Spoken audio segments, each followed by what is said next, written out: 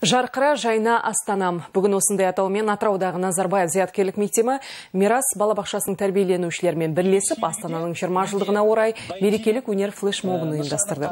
Оқу орнында өтіп жатқан ел жүрегі Астана атты 10 күндік аясындағы шараға мектеп оқушылары қызу дайындықпен келді. Олар әуелі кішкентай бүлдіршіндермен бірге Астананың символы бәйтерек монументін жасап, қолдан шыққан бұйымын кішкентайларға сыйға тартты. Осылайша елордамызға өзіндік сүйіспеншілігімен мерекелік құттықтауын жолдаған атыраулық балалар өнер флешмобында ән айтып би биледі. Қазақстанның көк туын бейнелейтін түсте киінген оқушылар мен балалар астананың бүгінгі жетістіктерін мақтан тұтатынын жеткізді. Бұл өнер флешмобының негізгі мақсаты елордамыздың насихаттау.